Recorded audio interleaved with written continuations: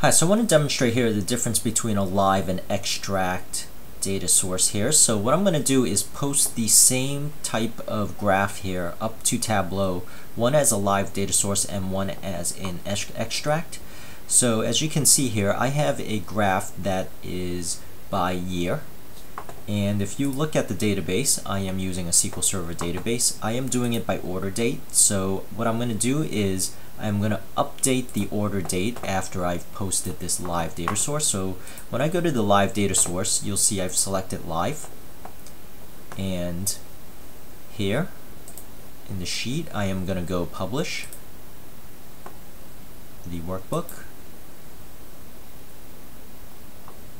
And when I publish the workbook, I am going to call it live data source. And the data source embedded and I am going to embed the password here. And I am going to go ahead and publish.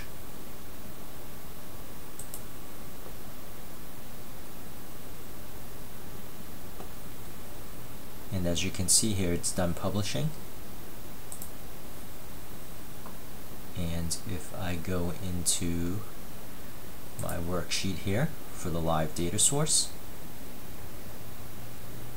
you'll see that it is the same exact. Now I am going to edit the data sources. So what I'm going to do is I'm, I'm going to update in, in the database the dates here. So I've updated the dates and I've added three years to it and you'll notice the order date now starts at 2016 now what I'm going to do is I am going to hit refresh and what you'll notice here is that it updates live the data source. Now I'm going to contrast that with a extract. So I'm going to go back to my same worksheet here and I'm going to click on extract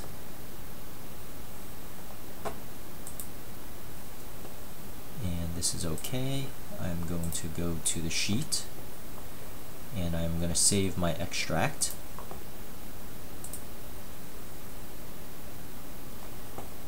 And I am going to go ahead and publish the extract or publish the workbook up to the server.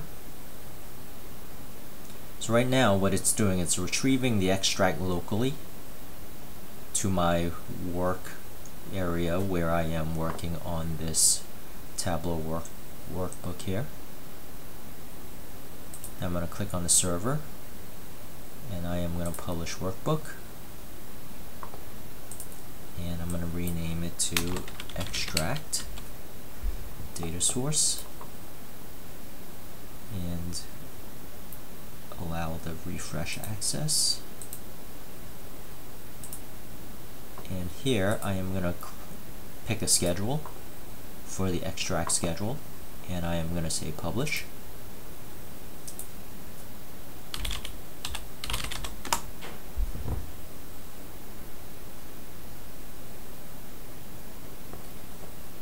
And now this data source is published. Notice the name here is extract as compared to my previous. So what I'm going to do is I'm going to click here and you'll notice it starts at 2016 which is what the extract was. Now I'm gonna subtract. Or I am gonna add another three years.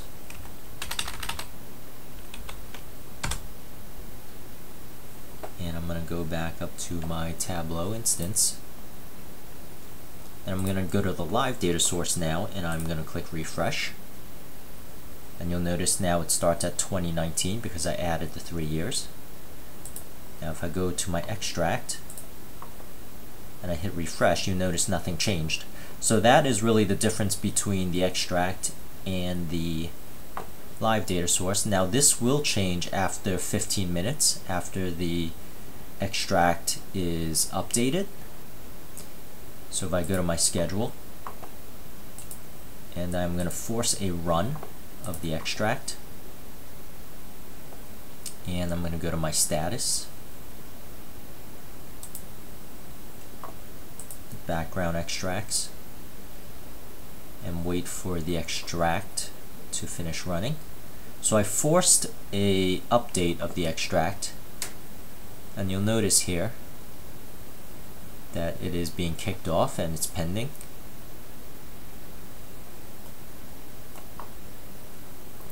So what I'm going to do here is refresh, make sure that the extract is done.